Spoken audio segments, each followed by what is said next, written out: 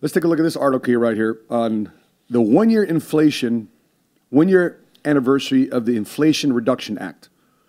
So, let's take a look at what gas prices were last year versus this year. Okay?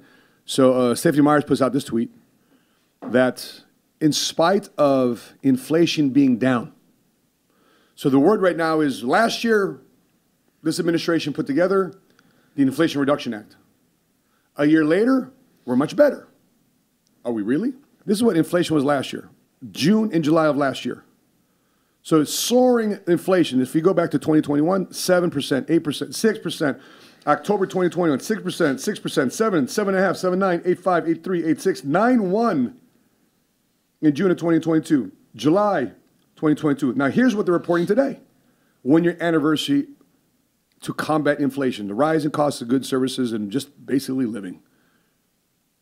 Well, they're saying that all items are down to 3.2%. so we went from 9, 8, 9% down to 3.2 one year later. My question to you is your food prices going down? Because according to here, food price went back, went back down uh, uh, uh, to 3.6%. Energy went down negative 20%. Is your, ga- is your electric bill cheaper? Is your gas bill cheaper?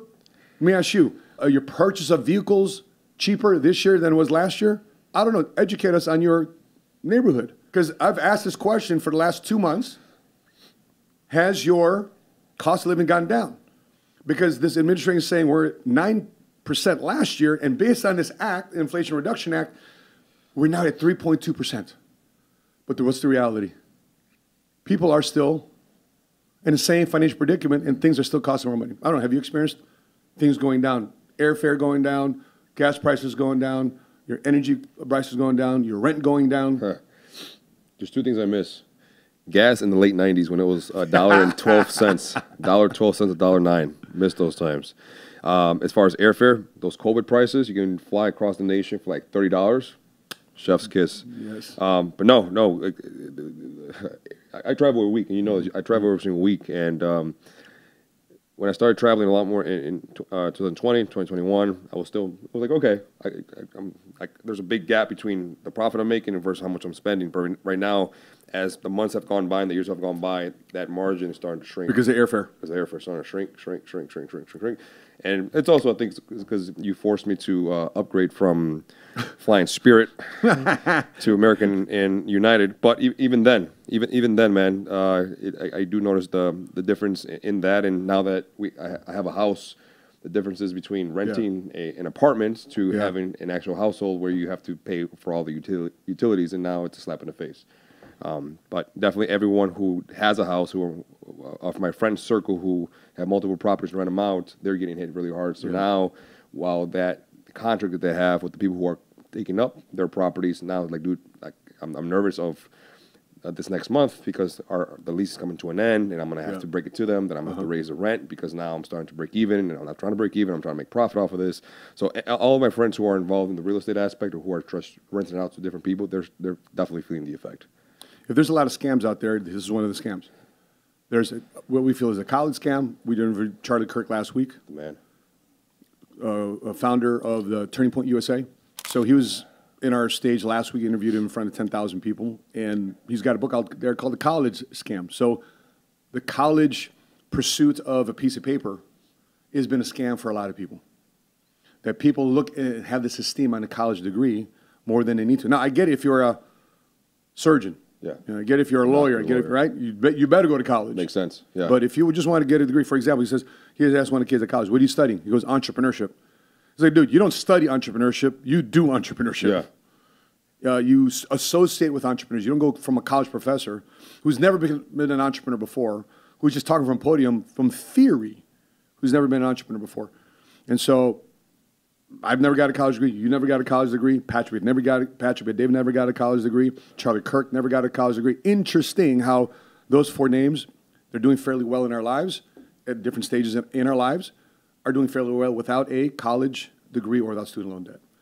And so what they try to tell you on is, hey, you know, the people that make a lot of money are the are the folks that have a college degree. Yeah.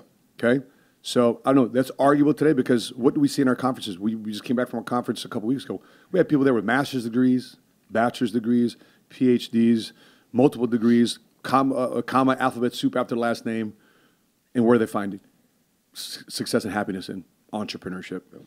And so, right now, if you are getting hit with inflation and there's no help in sight, I mean, this administration just put an act in place to help you out. One year later, guess what? There's not a lot of help really in reality of American lives. And so if you want to say, okay, that's a college scam, what's the next scam, Matt? I believe taxes are a scam. Taxes only started in 1911, 1912. I believe also inflation is a scam. So there's a lot of scams out there that you have to avoid.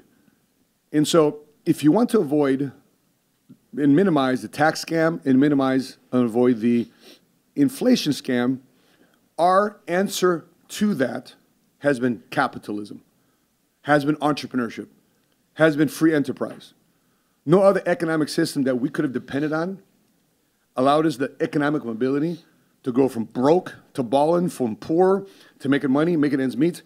I mean, Milton, I know you're, you're, you're frugal and you're some mindful expenses too as well, but have you really worried about airfare? I mean, have you really worried about putting gas in your truck, that monster you drive around that makes a lot of noise two miles in advance before you even know you're there? Do you even really worry about it, or do you just focus on what you can control, which is making more money, which offsets the cost of inflation goods and services? The last time I sat and I worried about how am I going to pay rent, how am I going to pay X, Y, Z items, how am I going to get from point A to point B travel wise across the nation, whatever the case may be, was probably during the pandemic. That was that was the last time that I had to worry. But whenever I do start feeling a little bit of the heat of wow, things are starting to stack up expense wise, the only thing I the only thing that comes to my mind is like, all right, great. How can I make more money this week? Great. How can I give myself a raise today? Great. Mm-hmm. What more can I do, or what more do I need to do today? Not tomorrow, not the next week, not next year, but today to make more money. And now, obviously, having the systems already in place, knowing what to do, who mm-hmm. to reach out to, how to work the system, I give myself a nice little raise every other day whenever I feel like I need it, and any extra income that I have, pour it back into the business. Because of course, pouring back into your business, it's what's going to help mm-hmm. you grow your business within itself. That's right. You're investing in a machine yeah. that's creating a lifestyle that you're 100. percent That's why people come out to events. So let me ask you, and and this is knowing from uh, being around a lot of the younger generation, uh, 18 to let's say 25, 24. Why is it that the younger generation, in your eyes, has a hard knock on the idea of capitalism? Why do so many people despise it? Why do they look frown upon it? Why why do they knock it down so heavily? And it, seems to be a mass majority of that population It seems to be the, the what is it Gen Z's the younger mm-hmm. generation. Mm-hmm. Why, why do you think that is? Just like we just came back from Las Vegas, the lure of getting something for nothing is so strong. Why? Because our natural disposition as human beings is to be lazy. Yeah. You know that. You're a trainer. Yeah. People, oh my gosh, by the way, today I'm limping in because you just had me on a killer leg day on Monday. I'm limping in. Yeah. A lot of people limping in, in, in pain are like, you know what, I'm, I'm going to give up the gym for a week or two. You know what I'm thinking about today? I need to hydrate because I see Milton later on tonight. Correct. At the gym. Yep. You know, so it's easier for us to quit on something because it's hard. And for a lot of people, if you don't think through it, okay, hey, I'm 17, 18, 19, 20, I'm new in this world. I like free stuff. Who wouldn't like free stuff? I like free stuff. Yeah. Okay? But now you start making some money. You start to make a, a, business decision, financial decision, family decision. Now you're married and you got kids. You start getting your gross pay and your net pay, and there's a big disparity between what you were supposed to get paid versus what you actually get paid because they start increasing what they take on taxes. Because who's going to pay for all this free stuff? Yeah. Which is a case for the government to raise income taxes across the board. And by the way, our, our state where we're from, guess what they just raised, uh, raised taxes on? It wasn't income tax, property tax. The west side of Chicago, you know the west side of Chicago, mm-hmm. has the largest increase of property tax in the city of Chicago. Shit. And by the way, that's the hood. Austin District, that's the, you know that. Everybody from Chicago knows the west side is the hood. That's Chiraq. South side, Chiraq. So why are they raising property taxes in the most poor neighborhood of Chicago? They're trying to push people out, man. Exactly. They're pushing people out because they know they can't afford the property tax. They're kicking people out through income taxes, property taxes, to gentrify the neighborhood, like they did, like they did uh, Humboldt Park, right? Pilsen, Pilsen, right? We used to call Humboldt Park Humboldt Heights, yeah, because the gentrification of the neighborhood. So, Why are we allowing other people to come into our neighborhoods that understood that understood entrepreneurship and capitalism works, and yet those same neighborhoods that we're getting kicked out, we're depending on who? The government. Same thing was going on in Maui, and I don't want to uh, go much too off on a tangent, but the whole conspiracy right now is going on with Maui, the burning areas of Lahaina. And by the way, we were there a couple years ago. Remember, we went to Hawaii a couple years ago. We Yeah. went to Maui, went to Lahaina, we went to. I love Maui. I took uh, a Ruben out there when it was, uh, we turned 13 years old. And that's where I taught him how to talk to girls in a very respectful manner. Yeah. Kid, you're 13 years old. Let me teach you how to talk to girls. Let me let me show you. and we went to Lahaina, and the oddest thing too as well, the whole city burned. The only thing that didn't burn, bro, was the church. The church is standing strong. There's some pictures out there. It's crazy. We'll, we'll post it on Instagram later on. But the only thing that hasn't burned down was the church, and that was the epicenter and the center of the Hawaiian kingdom. Why? Because the indigenous folks there don't want to sell the land to the millionaires and billionaires and investors that want to own that land. So there's a lot of conspiracy. Obviously, you got to do research. Don't take my word for it. But take, take a look at what's going on there in, in Maui. So if you like that clip, please watch this one right here. If you want to see the full podcast, click right here.